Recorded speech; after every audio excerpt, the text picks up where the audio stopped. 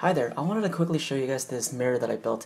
The reason why I built my own version of this is because not only do I want to design and write my own software for it, but I also wanted to build a mirror that you can interact with. And so here it is. Now, the uh, first thing that you're going to be seeing is the home screen. The home screen can either always be on or you can set it up in a way that it'll automatically put itself into rest mode. The home screen also contains widgets around the corners. The top left displays information about the weather, the amount of time it takes for you to get to work from your current position.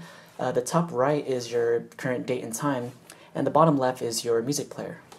Now, I mentioned that I wanted to build a mirror that you can interact with, and so to begin this demonstration, let's play some music. Uh, and to do so, all you need to do is simply tap on the play button. Real simple.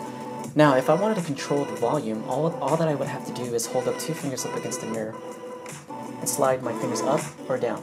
Again, that's two fingers. And slide up or down in order to control the volume.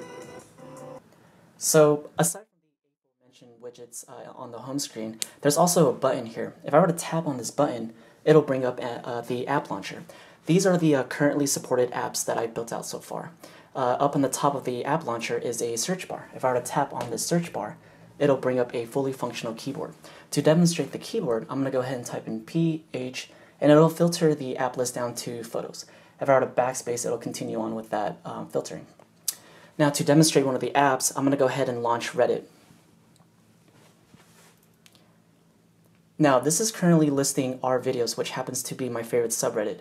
Um, I'm going to go ahead and select one of these videos to demonstrate video playback. So here's an X-Men trailer.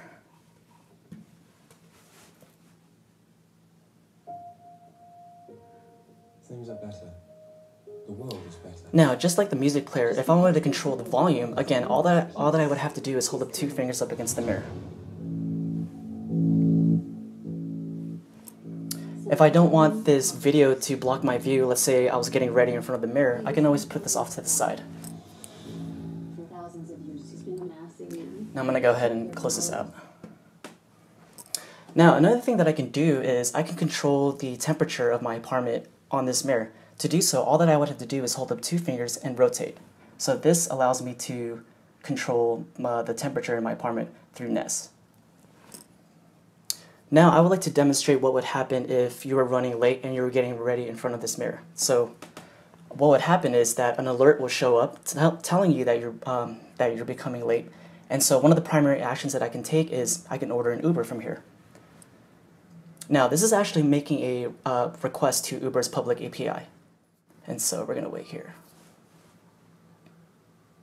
So my request has been accepted by John. John's going to be picking me up in the next five minutes. And so because of this demo, I'm going to go ahead and cancel this because I don't want John to pick me up. And so that is my mirror. Thank you for watching.